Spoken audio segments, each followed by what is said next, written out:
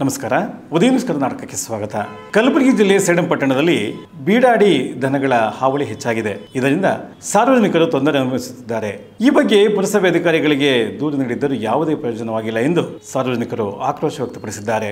ಕಲಬುರಗಿ ಜಿಲ್ಲೆಯ ತಾಲೂಕು ಕೇಂದ್ರ ಸೇಡಂ ಪಟ್ಟಣದಲ್ಲಿ ಎಲ್ಲೆಂದರಲ್ಲಿ ಬಿಡಾಡಿ ದನಗಳ ಹಾವಳಿ ಹೆಚ್ಚಾಗಿದ್ದು ಸ್ಥಳೀಯ ಜನರು ತುಂಬಾ ತೊಂದರೆ ಪಡುತ್ತಿದ್ದಾರೆ. ರಸ್ತೆ ಮಧ್ಯದಲ್ಲಿ ದನಗಳು ರಾಜಾರೋಷವಾಗಿ ಮಲಗುವುದರಿಂದ ವಾಹನ ಸವಾರರಿಗೆ ತುಂಬಾ ಕಷ್ಟವಾಗಿದೆ. ಪಟ್ಟಣದ ಕೇಂದ್ರ ಬಿಂದುವಾದ ಬಸ್ ಸ್ಟ್ಯಾಂಡ್ ಹಾಗೂ ಕಲಬುರಗಿ ಕ್ರಾಸ್ ಮತ್ತು ರೈಲು ನಿಲ್ದಾಣದ ಸಮೀಪದಲ್ಲಿ ದನಗಳು ಹೆಚ್ಚಿರುವುದರಿಂದ ವಾಹನಗಳು ಬಂದರೂ ಸಹ ಕ್ಯಾರೆ ಎನ್ನದೆ ಪಕ್ಕಕ್ಕೂ ಸರಿಯದೆ ಹಾಗೆ ರಸ್ತೆ ಮೇಲೆಯೇ ಮಲಗಿರುತ್ತವೆ. ಸೇಡಂ ತಾಲೂಕು ಅಧಿಕಾರಿಗಳು ಹಾಗೂ ಪುರಸಭಾ ಅಧಿಕಾರಿಗಳು ದನಗಳ ಮಾಲೀಕರನ್ನು ಗುರುತಿಸಿ ಎಚ್ಚರಿಕೆ ನೀಡದೆ ಕಣ್ಮುಚ್ಚಿ ಕುಳಿತಿದ್ದಾರೆ ಎಂದು ಜನರು ಪ್ರಶ್ನಿಸುತ್ತಿದ್ದಾರೆ. ದನಗಳು ರಸ್ತೆಯ ಮೇಲೆ ಅಡ್ಡಾದಿಡ್ಡಿ ಓಡಾಡುವುದರಿಂದ ವಾಹನ ಸವಾರರಿಗೆ ಅಡ್ಡ ಬಂದು ಸಾಕಷ್ಟು ಬಾರಿ ಅಪಘಾತ ಸಂಭವಿಸಿದ ನಿದರ್ಶನಗಳು ಇವೆ. ದಿನದಿಂದ ದಿನಕ್ಕೆ ದನಗಳ ಸಂಖ್ಯೆ ಹೆಚ್ಚಾಗುತ್ತಿದ್ದು, ಅಧಿಕಾರಿಗಳು ಎಚ್ಚೆತ್ತುಕೊಳ್ಳುತ್ತಾರೆಯೇ ಎಂಬುದನ್ನು ಕಾದು ನೋಡಬೇಕಿದೆ.